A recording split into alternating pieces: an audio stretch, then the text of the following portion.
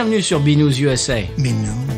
le podcast qui vous propose une critique de bière US chaque semaine. Des bayous louisianais, nous vous délivrons nos coups de cœur, conseils pratiques et l'expression cajun de la semaine. Un podcast à consommer. Sans modération.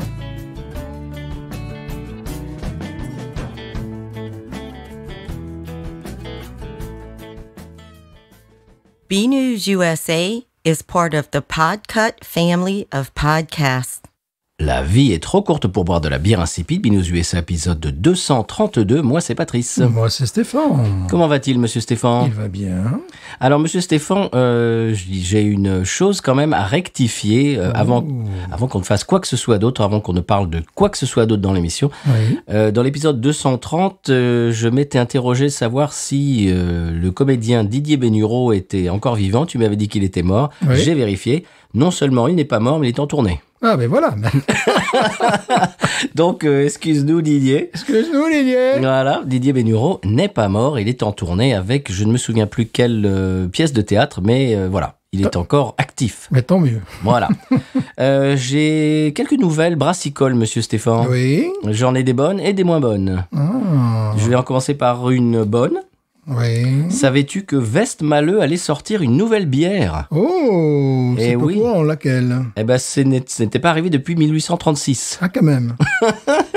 Ils ont la Dubel, comme tu le sais, Ouais. et la Tripel, Ouais. et c'est tout. Et depuis ma- 1836. D'accord, et là? Et là, eh bien, ils vont sortir la Extra.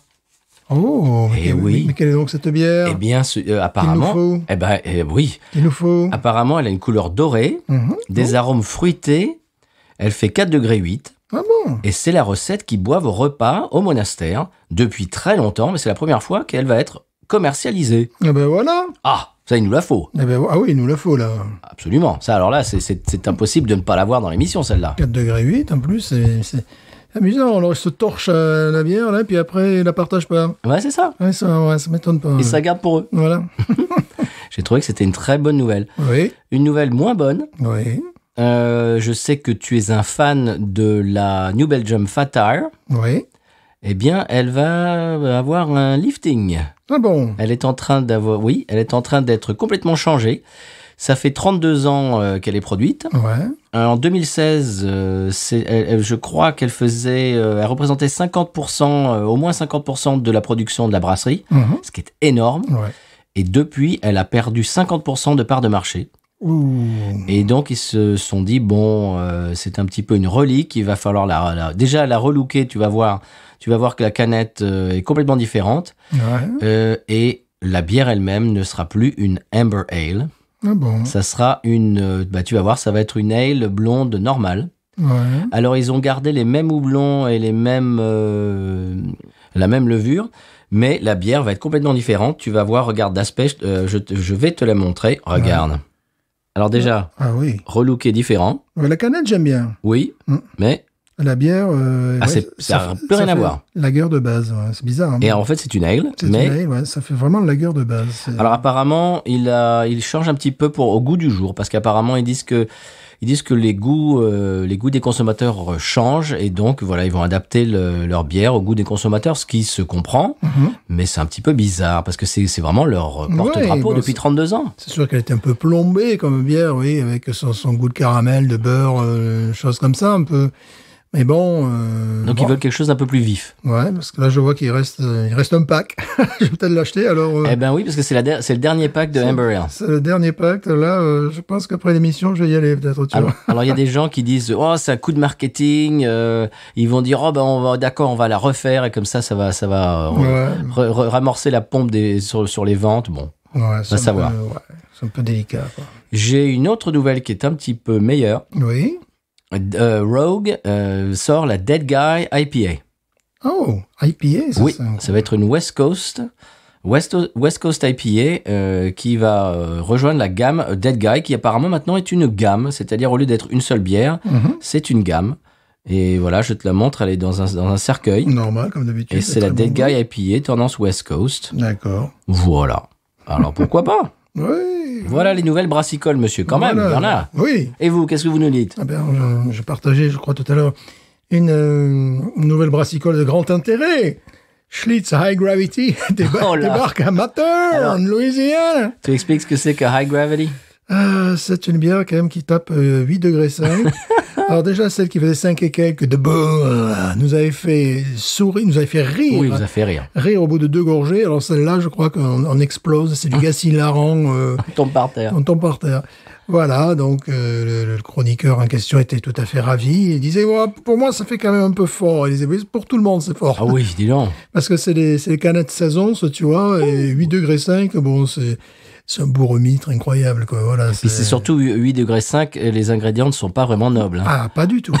et euh, tu le sens assez rapidement, quand même. Parce que. Ghost in the Machine, par exemple, qui fait du 8 degrés, Ouais. ça va, c'est des ingrédients complètement nobles, des, Mhm. du super houblon, euh, la super levure, etc., etc., du grain et tout. Bon là, à mon Non. avis, ça va, c'est de l'indus, hein. Là, c'est du maïs, du sirop de maïs, euh, des trucs. Sirop de glucose. Je sais pas si on va la, si on va la chroniquer, celle-là. hein. Si, si on la trouve, pourquoi pas on, peut faire un mini-zone. On la partagera alors. Oui, oh, bah que, oui, largement, oui. On va voir si, si elle nous fait plus rire que la précédente. Ça, c'est un peu le. En parlant de Paris, le 31 décembre, j'étais allé avec mon groupe euh, jouer dans le nord de la Louisiane, Mhm. à côté de Fort Polk, qui est, euh, qui est une base militaire. Et euh, on est passé. Ah ben justement, j'avais oublié de- de- d'amener de, la bière. Alors parce qu'en général, euh, quand on va dans les bars, euh, je préfère amener ma propre bière parce que 9 fois Ouais. sur 10, on arrive et puis c'est Bu- Bud Light, Coors Light, et Miller Light, et Michelob Ultra et c'est tout. Donc euh, bon, donc en général, j'amène j'amène de quoi.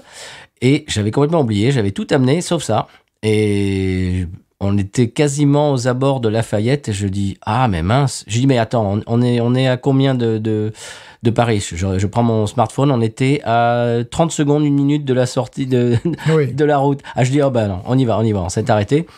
Et en fait, on, on- on a passé une heure là-bas. Euh, ils avaient, figure-toi Stéphane, à la pression, non seulement la Holy Ghost, mais la DDH, euh, la double dry hopped Ghost, là je savais, je savais plus où donner de la tête. Ouais, là, c'est quand même magnifique. Et je crois qu'il était genre 10, euh, 10h30 du matin, mais c'est pas grave, j'ai pris une toute petite, euh, euh, je crois que j'ai pris DDH euh, Ghost, oui, euh, Ouais. de, de double dry hopped. Voilà, donc euh, c'était pour parler de Parish un petit peu. Euh, c'est à peu près tout, monsieur oui. Est-ce qu'on écoute euh, le sonal et est-ce qu'on parle de la bière de la semaine après? Oui, la bière de la semaine. Mais quelle est-elle? Eh bien, c'est moi qui l'ai amené dans l'émission. Ah oui. Je vais t'en parler. Ah oui. Sonal.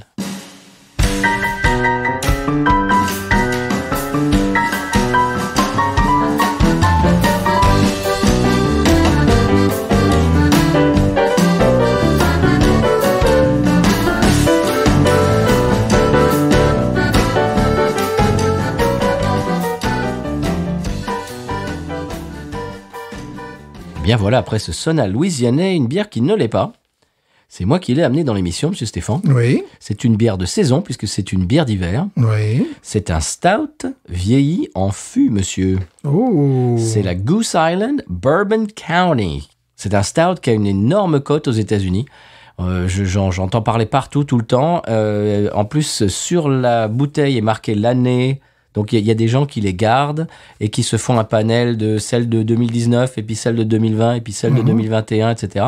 C'est, elle a vraiment une, une- une super cote. Et donc, j'ai jamais goûté, toi non plus, je pense. Non, non, non. Donc j'ai pensé qu'on pourrait la goûter. Alors c'est une bière brassée, euh, qui a été brassée pour la première fois, pardon, en 1992. Nous étions là. Oui. Euh, et alors apparemment, euh, elle, elle- elle nous promet du, de, la, de la vanille. J'ai Ouais. j'ai marqué la vaille, c'est pour ça que je comprenais De pas. la vaille. J'ai oublié le N. de la maille. De la vaille. Euh, de la vanille, du chocolat noir, Oui. du toffee, Ah. de la mélasse, Oui. de l'amande Oh. et des fruits séchés. Ben, ça me paraît excellent tout ça. Alors fruits séchés, on, s'y attendait, chocolat noir aussi. Mhm. Mais toffee, Toffee, non. Vanille, on s'y attendait aussi. Oui. Mais amande, euh, amande et toffee, non. Non, non, non, non, non, ça paraît euh, excellent, cela. Alors, c'est un stout impérial, vieilli en fût de bourbon, comme on l'a dit, Mhm. euh, qui fait 14 degrés 3 quand même, quand même. euh, un petit peu. Et il est très apprécié par les amateurs euh, de stout US. D'accord. Et c'est à peu près tout. Alors, il y a plusieurs variétés. Moi, j'ai pris la variété normale, la, Oui, la ouais. basique. Ouais. Parce qu'il y en a qui sont vieillis en fût de tralala, je ne sais pas quoi, avec des ajouts de je ne sais quoi. Je me suis jamais penché, mais celle-là, je sais que c'est la basique. D'accord. Donc, on va y aller? Basic Instinct. Oui, Voilà. c'est une grosse bouteille, donc on va la couper en deux quand même. hein. Oui, oui, oui. quand même. Et à, à boire dans un snifter, c'est marqué. Mais bon, Ouais. on, va, bon on va boire dans un técou. Ça va, quoi. Ça va, c'est pas mal. Voilà, Bourbon County, Goose Island. Euh, tout le monde connaît Goose Island, bien sûr. Oui. D'ailleurs, euh, je vais envoyer un, un shout-out, comme on dit en France. Oui. à nos auditeurs qui nous avaient, euh, eh bien, je crois qu'ils nous avaient découvert en écoutant euh, l'épisode sur justement la Goose Island IPA. Ils Ouais. cherchaient euh, un podcast euh, qui parlait de la Goose Island IPA. Je crois qu'ils venaient d'emménager ben, là où ça se fait. Je ne sais plus où c'est. Mhm. Qu'est-ce que, j'ai, envie de dire Chicago. Oui, moi aussi, ouais. C'est ça. Bon. Ouais. Bon, bah sinon, on, on va Sinon- rectifier l'épisode prochain. Voilà, comme la- l'acteur mort, voilà. Qui Comme. Didier Bénureau, qui n'est pas mort. mais qui est en tournée. Voilà. Tournée de bière. Ouais, Voilà, mais c'est normal, c'est normal. C'est beau, monsieur Stéphane. C'est beau. On y va? Oui.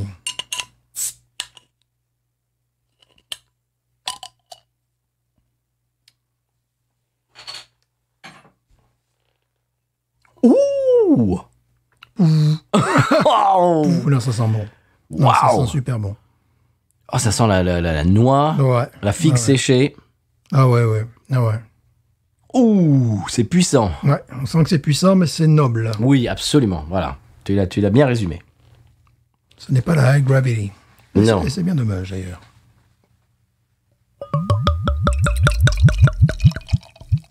C'est la bière qui réchauffe. Ouf, tu la sens à facilement 25 cm.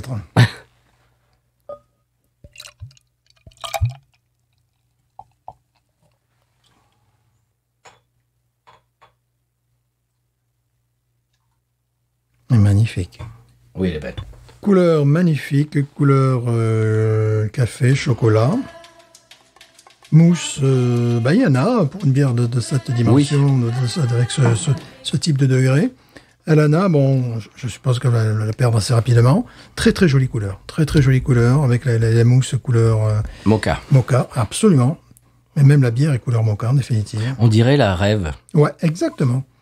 Elle a exactement le même aspect. alors, par contre, il y a un truc, c'est que c'est un- une bière qui te tient à distance, parce qu'en dessous de 20 cm, tu, tu la sens.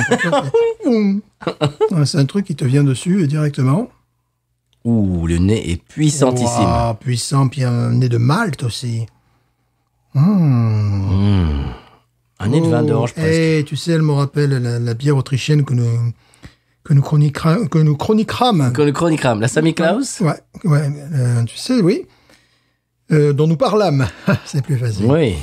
Euh, le- on est bah, tout ce que je sens. Je sens, du, je sens des nez de miel, je sens des nez de euh, De pruneaux. de, de pruneaux, de, de pain noir, euh, de malt. euh, vraiment, on Pas est. complet. Ouais, on est et la couleur aussi. La couleur n'est pas sans rappeler Oui. cette bière. Bon, euh, par contre, je crois qu'elle fait 2 degrés de plus que l'autre. Voilà. Toujours de plus que toi. Nanana. Parce que aux États-Unis. Nanana. 14,3 celle-là. C'est vraiment, je trouve, euh, au nez, en tout cas, euh, un clone de cette bière autrichienne. Alors, il y a le nez d'alcool quand même, mais alcool noble. Ouais. Ah, mais vraiment, tu les mets côte à côte, c'est le même nez. C'est le même nez. Peut-être qu'ils ont fait exprès. Ouais. C'est peut-être l'inspiration. Ouais. Tu les mets côte à côte, c'est le même nez. Bon, c'est très, très sympathique, hein. C'est Je vraiment la même chose. Je sens la vanille. Tu sens la vanille aussi? Oui, je sens, je sens la, la vanille, je sens le fruit cuit, je sens, je dirais, le, le pain noir trempé, tu sais, un peu dans, dans de la bière, en définitive, Ouais. tu vois. Euh, Ah oui, le pain noir, oui. Ouais, ouais, tu vois, c'est ce c'est pain de seigle. Ouais, ouais, des, euh, des choses comme ça, un petit peu, ouais. Hmm, non, c'est, mais c'est absolument surprenant. Ça me rappelle également la Rush- Russian, la Russian Imperial Stout que nous avions bu, mhm. qui était un peu dans le... Qui était la- russe réellement, c'est Ouais, celle qui était russe Ouais, Mhm. qui était dans... Oui. Oui, qui était russe d'ailleurs, oui, tout à fait. Euh, on est dans la même déclinaison, dans la même famille. Oui. C'est très bon. c'est- Quand tu sens ça une fois dans ta vie, tu t'en rappelles hmm, pour toujours après. Ouais. C'est très rigolo. Oh, il y a un côté pain que j'adore, P-A-I-N évidemment. Oui. Il n'y a, pas- a de pain payenne. Non, là, Du tout. C'est pain, c'est maltais. Au nez, je sens pas les arômes de café ou de chocolat ou de mocha. Non, je sens vraiment ça en premier. Elle fait saliver. Mhm. Je propose que nous plongions Allez. magnifiquement dans cette bière. C'est parti, avant de faire euh, plus de bruit de bouche encore. Ouais.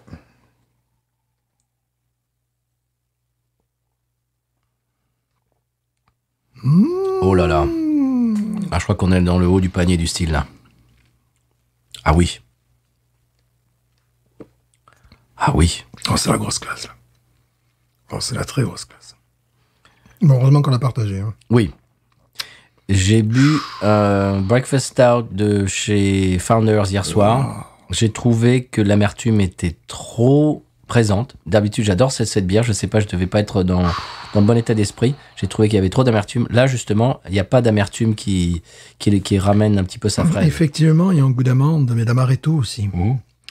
Euh, c'est assez puissant Oh là.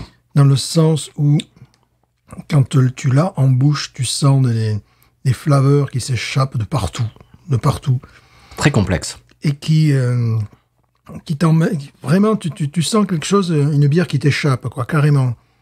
Qui, euh, qui, qui va au-delà de ta, ta propre connaissance. On est, dans l'espace, là, tu vois, on est dans une navette spatiale, on est dans l'espace.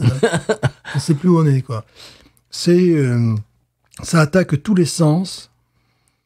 C'est une. Chocolat, effectivement, on finit par le sentir, sans aucun problème. Mais euh, réglisse également, j'ai senti. Mais c'est une explosion. Oui. C'est ça qui est complètement passionnant avec cette bière.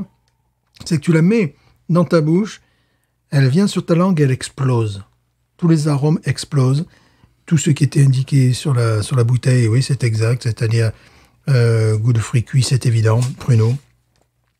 Euh, de, de, de- Vanille. De, de figues, de vanille, oui. Fruits séchés, Fruits amandes, séchés, amandes, amandes. oui. mélasse, toffee. Ouais. Ah oui.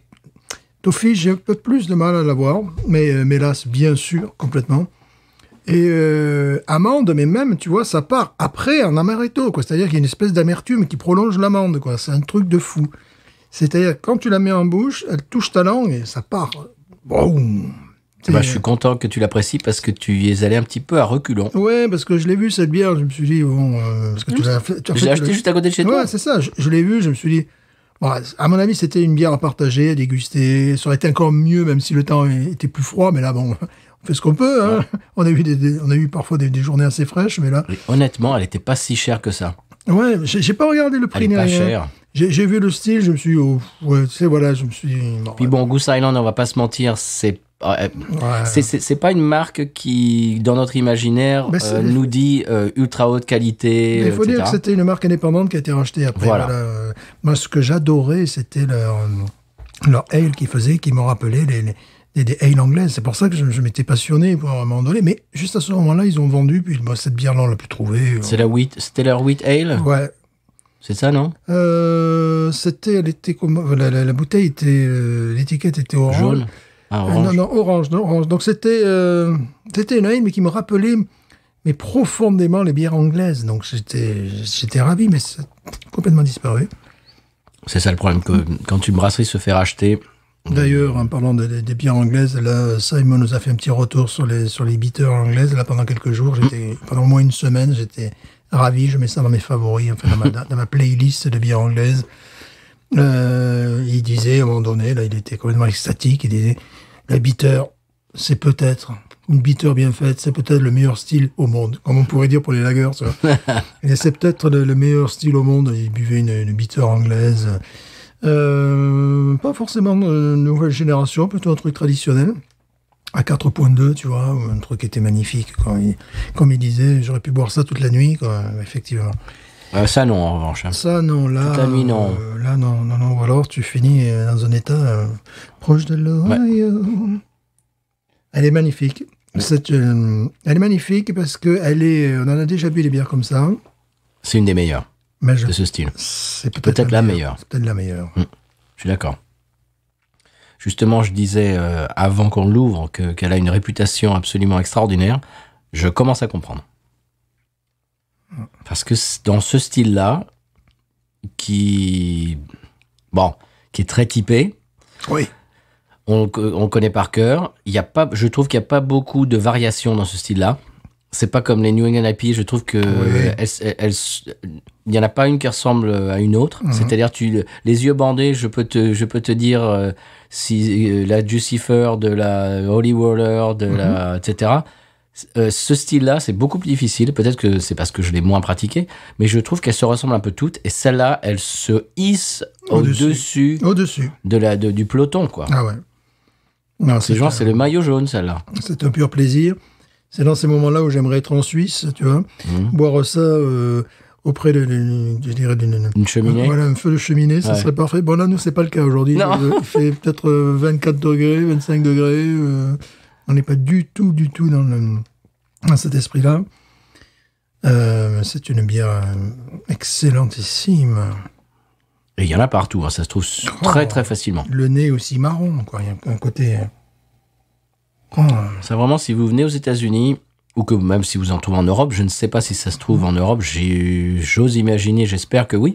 Mais si vous venez ici, ou si vous pouvez vous en faire importer, que vous aimez les, les stouts impériales vieillis en fût, ça, c'est vraiment le haut du panier. C'est parmi ce que j'ai bu de meilleur dans le style. Oui, moi aussi.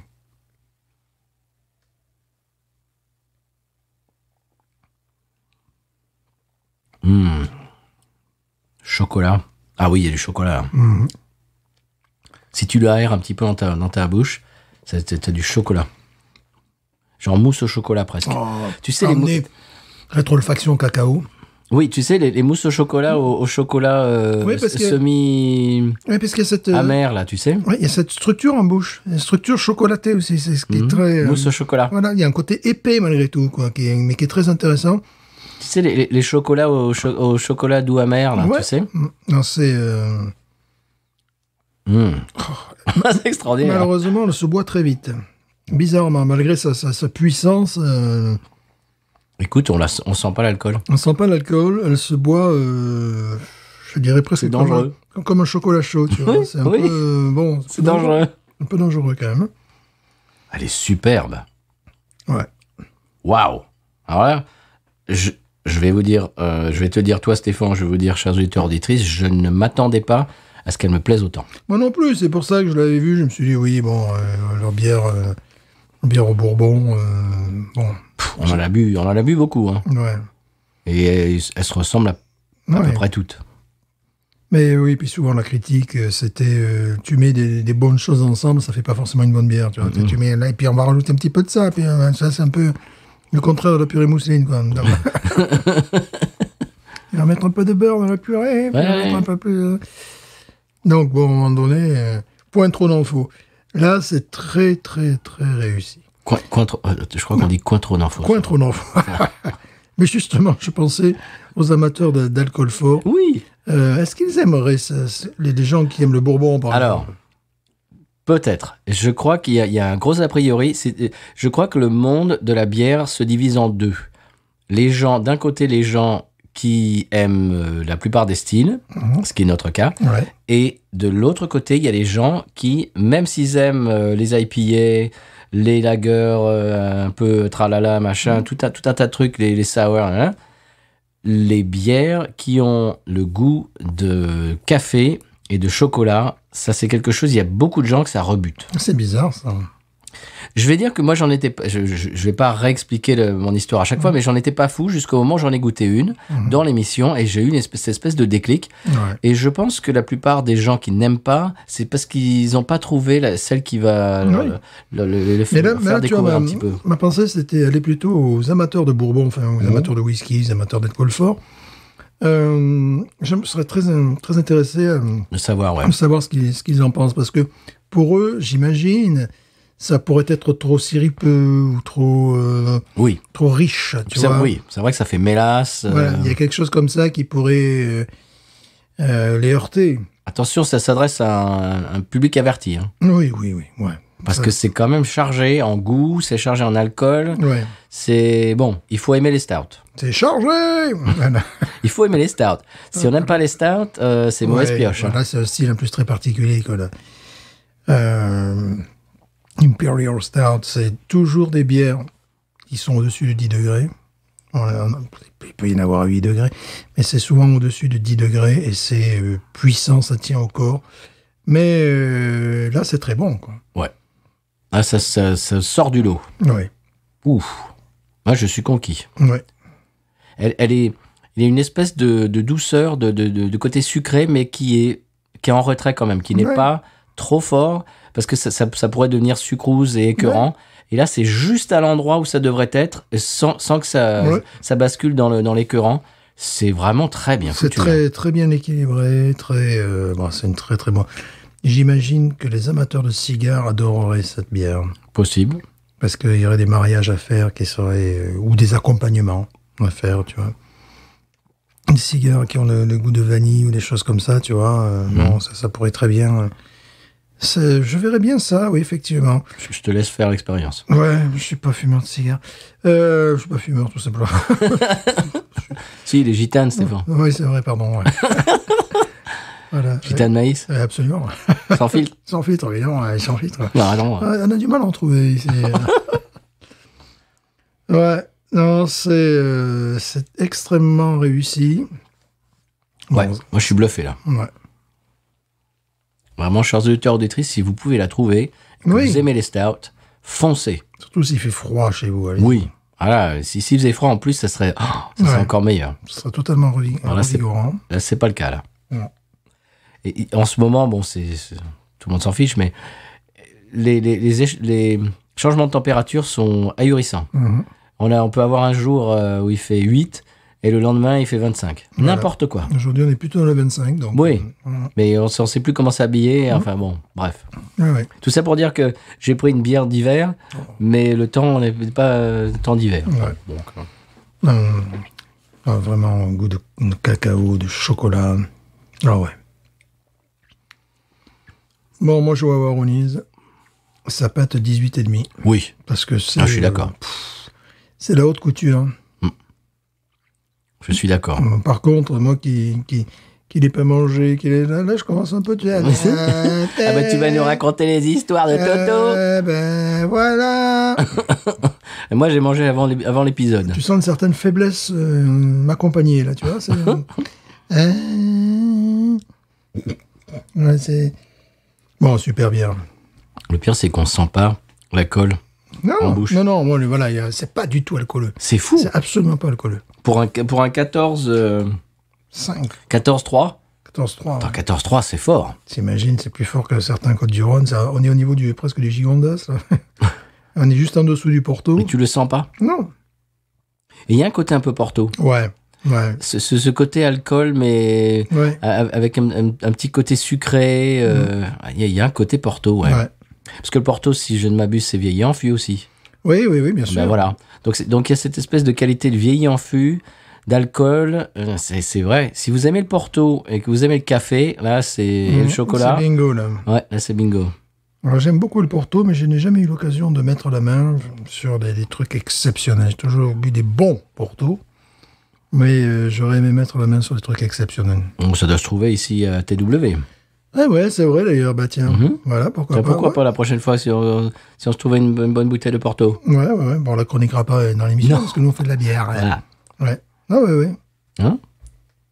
Porto USA. Hmm. Je me joins à ton 18,5. Que c'est bon. C'est une, une bière dessert, ça. Ouais, ou... Alors, ça pourrait accompagner des, certains trucs. Hmm. Ouais, Ouais, de la, de la barbac, quoi. ouais, de la barbac, évidemment. euh.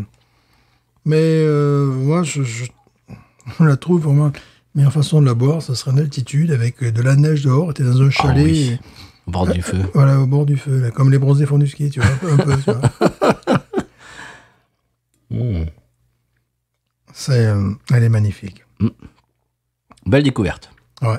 Si vous pouvez en trouver, Par contre, je n'en rachèterai pas. C'est le genre d'expérience que j'ai bien partagé, mais j'ai pas envie d'avoir ça, tu sais, pour, euh, pour boire quand, comment. Mhm. euh, tu vois, il faut trouver l'occasion. Ouais. euh, voilà, il faut que vous ayez l'occasion qui, qui va avec. Quoi. Qui, fait- qui fasse le larron. Voilà, sinon, boire ça, euh, je sais pas, en regardant les Derrick. matchs de ouais, Derrick. Derrick, ah oui, remarque, c'est pas bien, là, tu vois. ouais, Derrick, il est lent. hein. ouais, ça, ça doit pouvoir aider à comprendre euh, l'allemand à ce moment-là. Mais sinon, euh, Ouais, il faut trouver l'occasion qui Mm. va avec. C'était bon. En France, ça serait quoi? Ça serait les fêtes de fin d'année, Mm-hmm. euh, des- choses comme ça. J'ai ramené deux bouteilles de Bayutech et je pense qu'on en fera au moins une dans l'émission. Ah, ah. Tu sais, leur, leur bouteille d'une pinte, là, qui, se, qui Oui. font deux, deux beaux verres. Tu viens de me rappeler de ça en parlant de bière qui se, bah, qui se coupe en deux, qui se partagent, plutôt que de se, se les boire tout seul chez soi. Non, là, Ça, t'imagines, te taper la bouteille en- euh, entière chez, chez soi tout seul, c'est un peu spécial. Non, non, non. C'est ouais, la- c'est de la, la bière à partager Oui, oui, oui. en faisant du podcast. Voilà. Eh bien voilà, chers auditeurs auditrices, euh, si vous n'avez pas compris, si vous trouvez cette bière euh, près de chez vous ou même en importation, eh bien, et que vous aimez les stouts impériales, eh bien, c'est bonne pioche. Très Euh, bien. on a- Il y a le label rouge Binous USA Mhm. sur l'étiquette. Oui. Euh, Monsieur Stéphane, on va écouter le sonal Mhm. du conseil de voyage. Ce goût de chocolat en fin de bouche est absolument tueur. Mhm. Ça, ça fait vraiment gâteau au chocolat. euh, Forêt noire. Ouais. Pas trop. Tu sais, les gâteaux au chocolat pas trop, euh, Ouais, qui sont pas trop noir, sucrés. Chocolat noir. Ouais, ouais, chocolat noir. Moi, je, me parfume qu'à ça, donc euh, tout va bien, quoi. C'est Magnifique. magnifique. Ouais. Et ce qui est également magnifique, c'est le conseil de voyage de la semaine. Conseil de, de volage. C'est parti.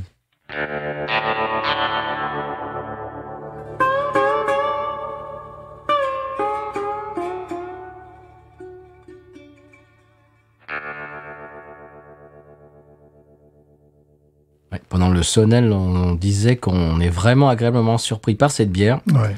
qu'on n'en attendait pas beaucoup, et Mhm. vraiment, on est euh, ébahi. Oui. On est, on est déçu en bien.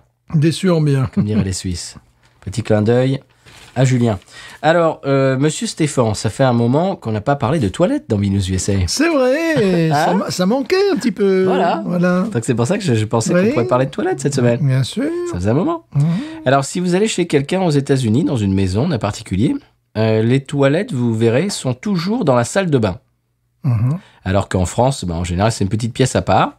Eh bien, non. Aux États-Unis, c'est ça, ça fait partie du, de la salle de bain. Voilà. C'est ça fait partie des différences euh, culturelles Oui. aux États-Unis, n'est-ce pas? C'est normal. Hein? Voilà. C'est dans la salle de bain. Ouais. Et Ben, non chez, pas moi, c'est dans ma grande salle de bain, par exemple. Oui, par exemple. Ouais, ouais, par exemple. Des fois, on s'y perd. Oui. Des fois, je t'appelle, hey, comment je fais pour euh, revenir Voilà, voilà, c'est voilà, c'est Mm. peu près. Voilà. Mais c'est vrai. Oui, oui, oui, c'est vrai. Maintenant, maintenant que tu le dis, euh, dans les hôtels aussi, d'ailleurs. Oui, bien sûr. Voilà. Alors qu'en France, euh, dans la plupart des maisons euh, individuelles, c'est une pièce à part. Ben oui, c'est parce que moi, il s'y passe des choses qui, quand même. euh, Bon, on va pas rentrer Voilà. dans les détails non plus, monsieur Euh. Voilà. Il se passe des choses, oui, d'accord. Des choses- Ou non, alors ça, non. Monsieur Stéphane, vous voyez ce qui arrive quand il boit des, des 14 degrés sans manger Stéphane Mais Voilà, Stéphane voilà, Mais non, voilà. mais ça se fait couper C'est Mais pour, couper c'est pour ça, c'est ça la différence Mais culturelle. coupé. Bon, euh, bon, on va oui. parler d'autre chose. Alors bon, d'accord, j'ai fait une bêtise. Bon, j'ai fait une bêtise. Une bière à 14 degrés, parler de toilette. Après, juste après, j'ai fait une bêtise sur deux euh, Non, non, non, non, non, ça suffit. Bon, coup de cœur. Oui. Allez, coup de cœur, Euh, vite, vite. Coup de cœur de la semaine. Alors, Ah. alors que je bricolais à l'extérieur, euh, sur, sur mon antenne, je m'amusais, voilà. Mhm. Un voisin qui bricolait également, qui mettait la radio à tue-tête. Ouh, le vilain, ouh, le vilain. Est-ce qu'il paie la SACEM Est-ce qu'il a payé la SACEM Je ne pense pas qu'il a payé la SACEM. Il foutait la radio à donf. Bon, ça tombait bien, c'était la musique que j'adore, donc ça, ça allait très bien. C'est-à-dire, il nous passait Ricky Van Shelton. Randy Travis, des- Mais dis donc. fait, fait que des trucs de, de- puis, puis à un moment donné quand même ils ont passé des trucs parce qu'on est quand même en Louisiane c'était la Mhm. radio qui qui, qui, qui- euh, pas, pas lui parce que lui lui il bricolait tu vois Mhm. et à un moment donné ils, ils ont passé Jimmy C. Newman qui est euh, donc originaire de Louisiane Cajun qui, qui a réussi dans la, dans la country music dans les années 50 60 70 Mhm. et là qui chantait euh, un truc que j'ai eu aucune difficulté à retrouver sur YouTube I'm Cajun, I'm American, I'm Cajun and I'm, And I'm proud. proud. Oui, je la connais celle-là. I'm Cajun and I'm proud. Voilà. Là, bon, je pouvais entendre la voix qu'il était plutôt vers la fin de sa carrière, Jimmy C. Newman.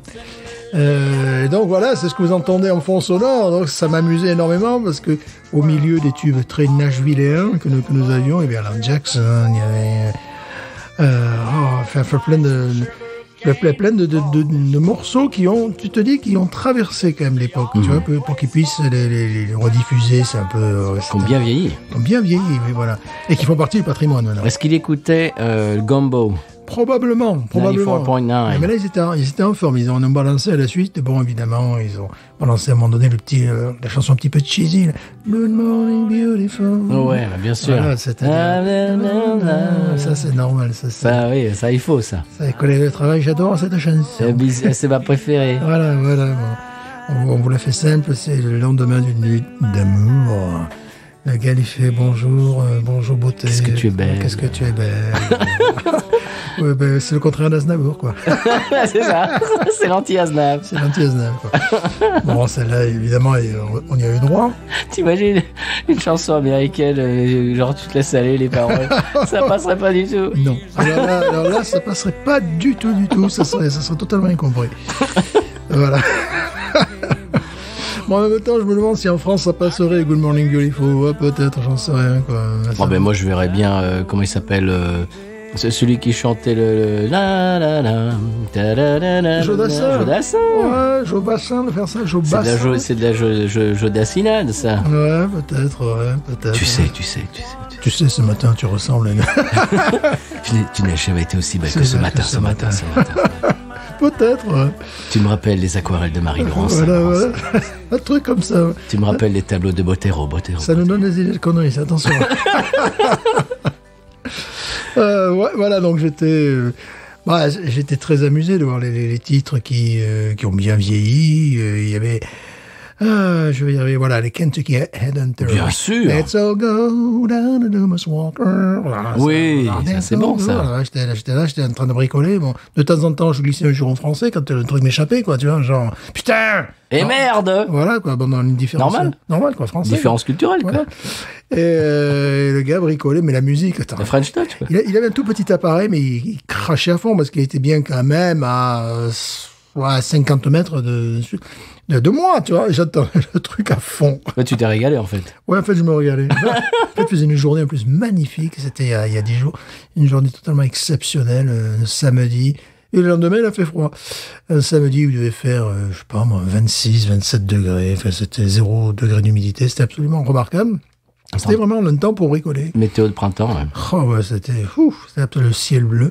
Et le gars, il bricolait. Donc, ça, ça m'amusait, ouais, parce que j'avais- pas envie de lui dire, bah, tu peux monter encore un peu, un peu plus fort, là. J'entends pas. J'entends pas, là. Tu vois, ça, c'est Randy Travis, c'est son troisième album. Ça, c'est Alan Jackson, son premier. Non, j'avais pas... C'est qui, ce French teacher? À mon avis, c'était le, le Gambo. Oui, oui, oui, 94 oui, oui. 94.9 Ouais, Gambo. Bien sûr. euh, qui passe euh, des, des hits. euh, Ouais, mais là, c'était réussi, parce que des fois, il me passe des trucs un peu... Ah ouais Tu vois, là, c'était réussi. Et hein. samedi matin, c'est mon copain Bobby qui passe de la musique locale Ouais. et qui passe Rough and Ready et que de temps en temps qui passe eh bien Big Patate, le- le- l'indicatif de, ce, de ce podcast. Nous sommes célèbres. Voilà, dans un rayon de 10 km. Ouais, un peu plus. Ouais, bah, non, en fait, eux, ils vont loin. En fait, Oui, cette ils vont radio va loin. loin. Oui, voilà. Cette radio va quand même jusqu'à la Nouvelle-Orléans. euh, Oui, puis j'avais un copain qui est, euh, qui est, camion, qui est euh, chau- chauffeur routier, il était dans le nord de la Louisiane et il écoutait la radio, il a entendu une- un de nos morceaux. euh, Ouais, ouais, ouais, non, non, il, il balance, balance assez loin. Et c'est non, qui était sur une autre radio. Ouais. Ah, sur On- une on- autre ben radio. oui, on sait pas pourquoi, on sait pas comment ils ont chopé ça. ben, mais- C'est comme ça. Ben voilà, c'est rough and ready. Bon, eh ben c'est un beau coup de cœur, monsieur. Oui. Absolument. Gumbo 94.9, vous pouvez trouver ça même, il y a une, une application smartphone, tiens, tu le savais ça? Oui, j'imagine, ouais. je- Et l'application smartphone, tout simplement, tu l'ouvres et ça, en direct, à la radio, en direct, où que tu sois, quoi. C'est très sympa. Eh bien voilà, très beau, très beau euh, coup de cœur. Donc c'était la radio de ton voisin. Ouais, Et Jimmy C. Newman. bien sûr. Et justement, ce morceau, Bobby le passe en dernier morceau de son émission. À chaque fois, c'est son morceau Ah, c'est pour rigolo. dire euh, au revoir. Ouais. voilà. tous les, tous les samedis. Alors, mon coup de cœur à moi, je ne m'en souviens plus parce qu'on n'en a pas enregistré la semaine dernière parce que j'étais souffrant Mhm. et donc je relis mes notes en direct. Alors, euh, ah oui, bah c'est ça, bah tout simplement, un coup de cœur, c'est YouTube quand tu as un problème et que tu as besoin d'une solution. Oh, ah oui, c'est vrai. Ah oui Ouais. Comment est-ce que je répare euh, X? Mhm. Et alors, euh, par exemple, n'importe quoi, d'ailleurs, quoi que ce soit. Comment j'installe une, une antenne espagnole, euh, Televes, euh, par exemple? Moi, c'est un truc qui, qui, qui m'attend. Là, Là, là, je, je me sens prêt à, à recevoir cette antenne. Enfin, je ne l'ai pas encore commandé, mais enfin, je suis déjà dans l'esprit. Je me suis chauffé. Je suis allé sur leur site, ils l'ont mis. Ils t'expliquent tout. Voilà, tac, tac. Tu Mais, fais mais, ça, tu mais fais ça. surtout, en Ouais, fait, ouais. Euh, une fois, j'avais j'avais une télé, une, une grande télé Sony, qui était une télé à projection. Mhm. Et tout d'un coup, je, au bout de plusieurs années quand même, je vois que si tu veux, l'image commence à être de plus en plus, tu vois, éteinte. Ouais. Je vois que d'un côté de l'écran ça va et l'autre côté commence à devenir jaune ou, ou vert. Enfin, C'est très beau, c'est très beau. Je dis oh là là, qu'est-ce que c'est que ce truc? Je vais sur YouTube et euh, j'ai appris qu'il fallait changer tout simplement la lampe. Il y a, il y a une Ah, lampe à l'intérieur, tu sais comme les rétroprojecteurs. Ouais, ouais, d'accord. Et donc la lampe était en train de mourir. Euh, j'ai- J'en ai, trouvé une sur l'internet et puis j'ai trouvé une vidéo qui te montre comment changer la lampe. Il faut ouvrir le- le- l'arrière de la télé et tu Mhm. changes, tu enlèves l'ancienne et tu voilà. C'était là que YouTube. Si, si vous savez pas euh, comment faire quelque chose, vous allez sur YouTube. Ouais. Et puis vous trouvez quelqu'un qui, oh, euh, euh, non seulement une personne, mais deux, trois, quatre, cinq, Mhm. des fois, qui vous montre comment euh, euh, remplacer, euh, réparer, et même comment jouer tel morceau à la guitare, oui, comment jouer oui. tel morceau, euh, je sais pas moi, au corps, au Mais corps c'est vrai ce que tu dis, parce que bon, moi j'ai eu avec la- ma, ma, ma Et on, Fiat, et on n'y pense pas, Non, ma- moi, moi, des fois. Ma Fiat, là, je, je suis un gars parce que c'est le, le fiatiste Mhm. local, quoi. Il habite pas loin de Dallas. Et euh, simplement des trucs, même avant d'avoir la, la voiture, il y, a des- il y a des trucs, si tu le sais pas, le bouquin, tu le sais pas forcément. Mais tu vois. non, Euh, par exemple, derrière les, les sièges, il y en a que deux, en plus de sièges, donc faut pas se rater non plus. Euh, tu, tu peux mettre des, tu peux mettre des documents si tu enlèves une, une plaque qui est juste derrière. Mhm. Et puis bon, euh, moi, l'intérêt c'était de changer, enfin de changer parce que l'ampoule du toit, alors, sachant que c'est une voiture euh, décapotable, n'avait jamais fonctionné. Eh bien bon, j'ai j'ai vu, voilà, le, le gars t'explique. Alors ce que j'ai fait, c'est que j'ai bon, j'ai enlevé celle du toit. Après, je suis allé acheter euh, vraiment dans, dans le village dans le village. l'ampoule ah, qui fonctionnait pas au niveau du toit, mais je l'ai foutu dans le coffre, et celle du coffre, je l'ai mise au niveau du toit, et puis voilà. et puis voilà, ça marche. Enfin, plein, plein de choses comme ça, plein de trucs aussi. euh, là, par exemple, sur, sur, sur, sur les Fiat, il y a, il y a, il y a aussi les, les gens qui, qui testent la voiture, qui, qui adorent, et puis les gens qui ne l'aiment pas. Enfin, voilà, c'est assez, c'est assez amusant de, Mais de moi, voir je vais vous les dire ce différents que points de vue, quoi. Je vais vous dire ce que ça m'a aidé à faire l'autre jour. Je, on parlait de Paris tout à l'heure. Euh, nous sommes allés avec mon épouse euh, chez Bayutech et on a amené un de nos chiens. Et qui est un, c'est une, une Golden Retriever. Et donc on était à Bayutech, très bien. Après on s'arrête à Paris, comme d'habitude. Et j'arrive à Paris, chez, euh, je vais faire mon flambard avec mon Golden. Je rentre dans la brasserie. Oh super, oh qu'est-ce qu'elle est mignonne, tout ça, très bien. Et je prends deux, euh, deux verres, donc deux, deux verres de rêve. Mhm. Et puis là, je me trouve avec deux verres à la main et un chien en laisse.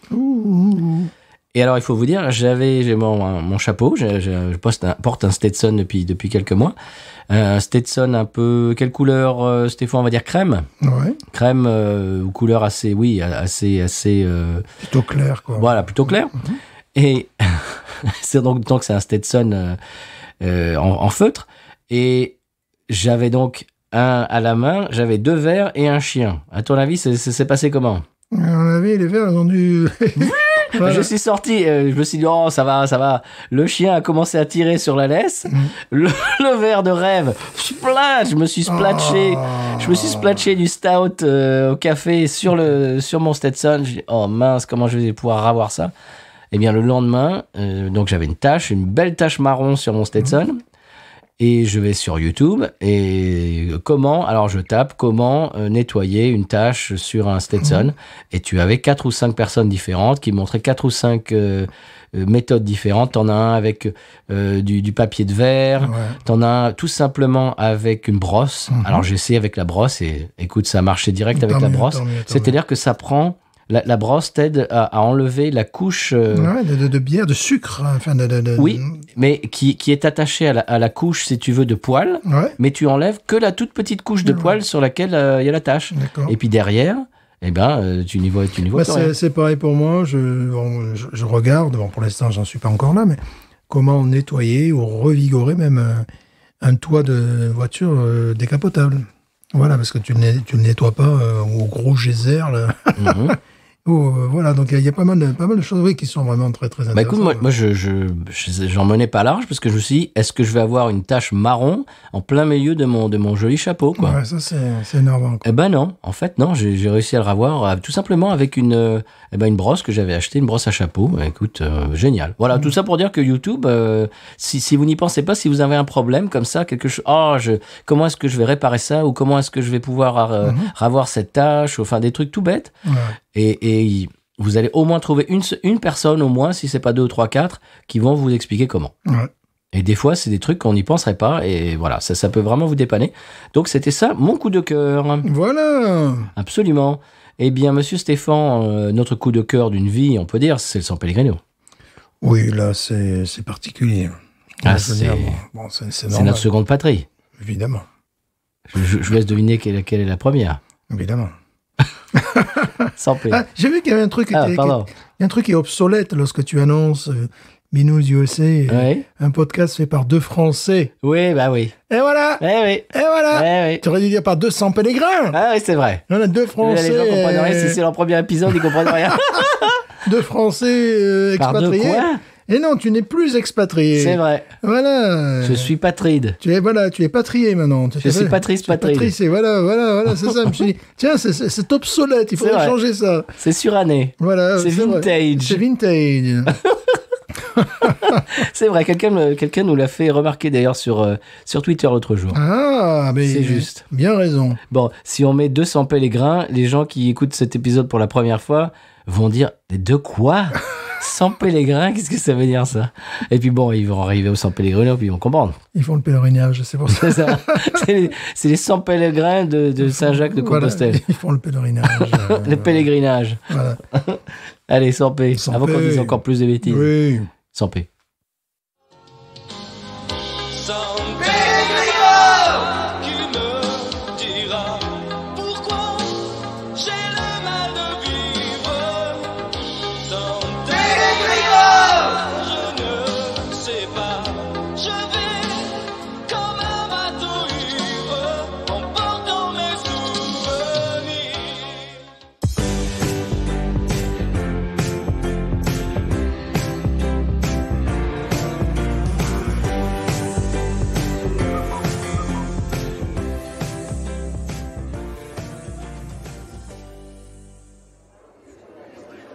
bonjour Yanis, aujourd'hui vous êtes venu avec un épisode inédit de Binous USA enregistré en 2023.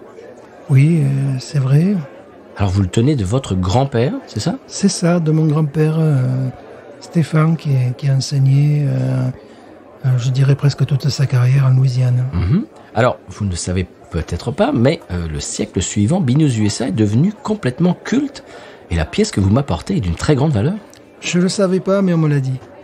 Eh bien oui, ben, je, je crois que vous allez être très content. Alors je l'estimerai à 600 millions de dollars pour son format Wave. Ah, c'est ça. Mais oui, Waouh. mais oui, 600 millions de dollars. Six- ah, on- on m'avait dit que, mais bon, quand même, 600 Mais c'est- millions de C'est incroyable. C'est incroyable. Alors, hein. alors là, je vois que vous n'avez qu'une copie en format MP3 en revanche. Oui. Ah oui, alors là, ça change un petit peu la valeur. La valeur tombe à 25 centimes d'euros. Bah, ouais, Eh oui, c'est bah oui, c'est un petit peu différent. Ouais. C'est pas le même format. Euh, les collectionneurs euh, eh bien privilégient souvent le format Wave. C'est- C'est comme ça. Mais ça vous fait quand même un beau souvenir de votre grand-père. Oui, c'est vrai. Ah, c'est c'est l'essentiel, c'est beau. Oui.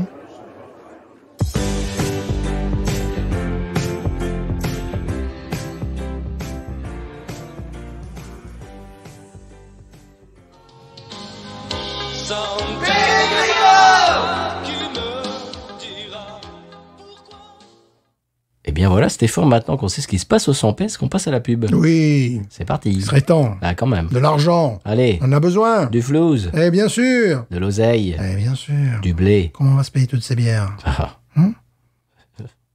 Prostituées difficilement. On l'a Quoi fait.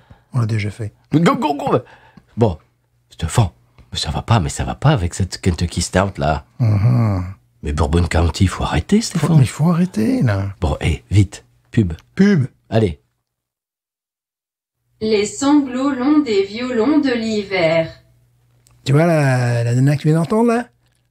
Bah, C'est mon ex. Maintenant, euh, je suis en ménage avec euh, Alexa. Je sais pas si tu connais. Alexa Tu me sers une bière? Retrouvez les mythos, les machos, les pas beaux grâce à podcut.studio et patreon.com slash podcut. Bien voilà, monsieur Stéphane, on arrive à la fin de l'émission, émission dans laquelle on a goûté un stout impérial vieilli en fût qui était exceptionnel. Oui, de très très bonne qualité. euh, quelque chose qui en plus ne nous a pas alourdi la langue euh, Non, euh, pendant, la, la- pendant la consommation, ça c'est rare. pendant la dégustation. Oui, parce qu'on aurait pu avoir une, une- une impression, une première impression formidable, puis après être complètement alourdi, euh, hébété, Écœuré. écœuré, avoir la langue dans les, dans les chaussures. Euh, non, c'est vraiment euh, très réussi dans ce style de bière qui est à ne pas mettre entre toutes les mains. Non, quand Et même. à boire dans des conditions un petit peu exceptionnelles. Oui. Donc c'est c'est c'est pas c'est pas pour tout le monde et c'est pas une bière de tous les jours. Voilà, c'est la raison pour laquelle elle se vend à l'unité. C'est pas, voilà, tu n'as pas. euh, C'est pas un pack de 6, non. non, non, non. Un pack de 24. Allez, on y va, ouais. Allez Allez, parti. Non. Eh bien, euh, chers auditeurs auditrices, on peut vous remercier comme chaque semaine d'être avec euh, nous dans l'émission, de nous écouter, d'interagir avec nous sur les réseaux Facebook, Twitter, Instagram, également à l'email binoususa@gmail.com. Eh bien, on vous remercie de tous vos retours, euh, de toutes euh, bah, vos interactions. Vous nous envoyez des messages. Ça nous fait plaisir. Je les répercute à Stéphane.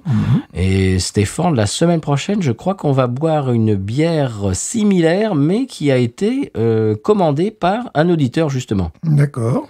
Et voilà, c'est- une bière qu'on trouve apparemment en Europe, dans le même style, mais vraiment euh, qui est euh, appa- apparemment très facile à trouver pour vous.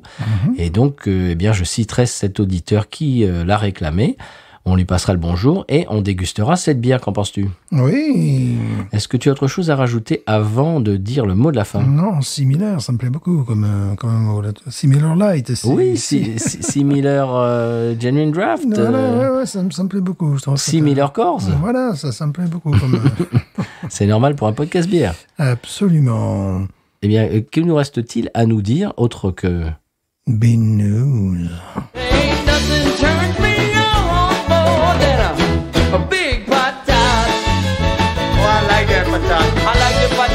Big. look at her go, look at her go. I like both the patats. we should watch her, we should watch her, we should watch her.